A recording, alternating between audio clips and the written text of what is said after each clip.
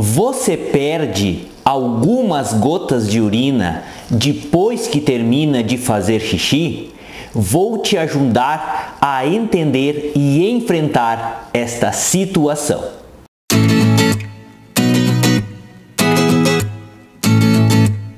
Oi, gente, me chamo Lucas Felipe Gomes Sou médico urologista da cidade Concórdia do estado de Santa Catarina.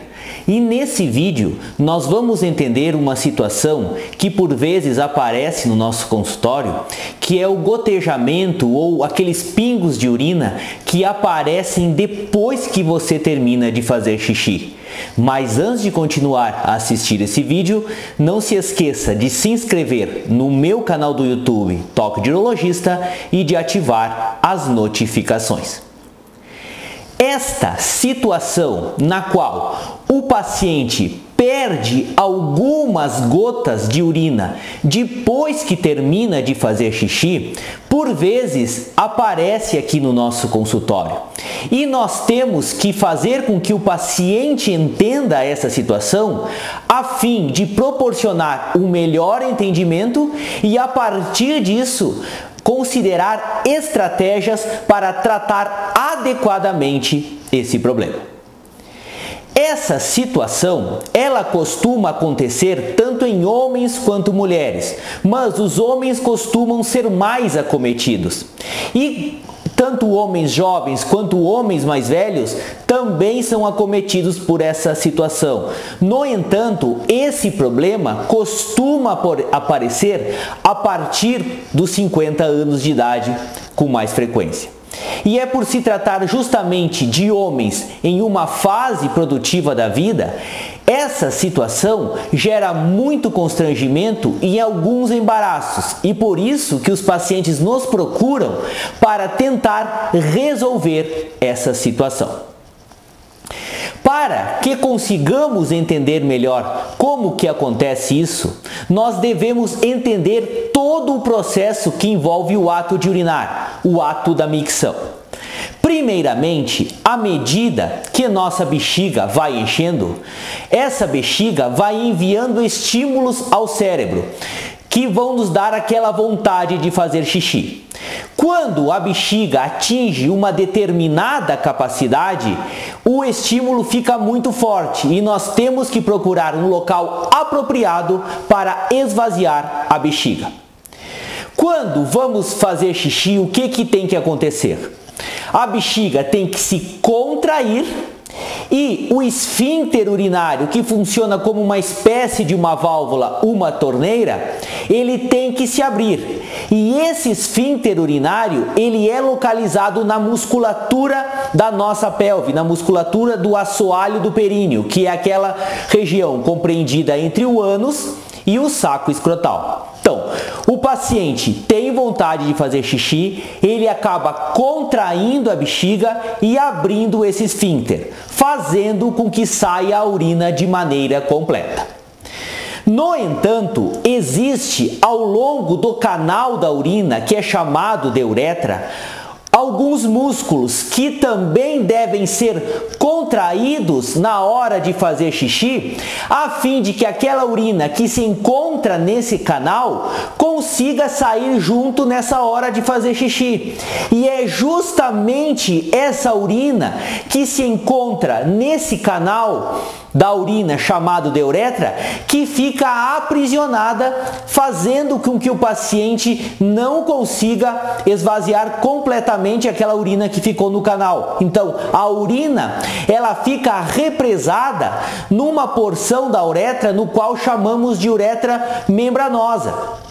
E essa uretra membranosa, ela possui alguma musculatura em volta dela que no momento que vamos fazer xixi, essa musculatura ela tem que contrair juntamente para que essa uretra se esprema e saia aquele xixi que porventura possa ficar aprisionado. Só que esses homens, eles têm um enfraquecimento dessa musculatura que envolve essa uretra, fazendo com que essa urina fique aprisionada. Então, ele termina de fazer xixi, essa urina fica aprisionada e ele começa a se movimentar e então então percebe que sai algumas gotas de xixi.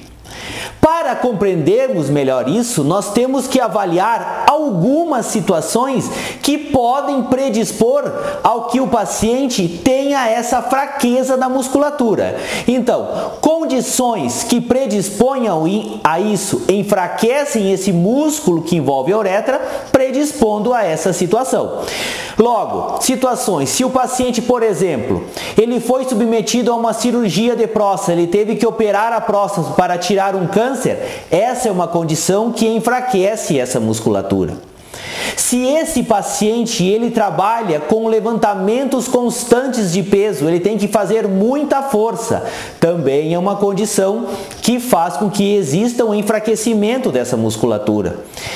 Se esse paciente é cronicamente constipado, ele tem que fazer muita força para evacuar, conseguir fazer cocô, isso também vai enfraquecendo essa musculatura. Se o paciente está acima do peso, essa situação também promove um enfraquecimento da musculatura da pelve. Se o paciente tem uma falta de condicionamento físico, ele tem um enfraquecimento dos músculos como um todo. E esse músculo da pelve ficando enfraquecido, também predispõe que ele tenha esse problema. E outra situação que pode acontecer é quando os pacientes, por um processo de bronquite, por um processo de asma, algum outro problema pulmonar, eles têm uma tosse crônica e essa tosse crônica também vai enfraquecer esse músculo que envolve a uretra. E também não podemos esquecer que condições que prejudiquem o funcionamento do sistema nervoso central, como demências ou algumas doenças neurodegenerativas, são condições que também podem enfraquecer essa musculatura. Sabedores disso, qual que é a nossa conduta? O que podemos fazer para tentar melhorar o problema do nosso paciente? Infelizmente, não existe uma alternativa medicamentosa, não existe um remédio que você consiga tomar e que faça você ficar com essa musculatura, esse músculo da uretra mais forte. Mas existem alguns exercícios que podem ser realizados a fim de promover o fortalecimento dessa musculatura.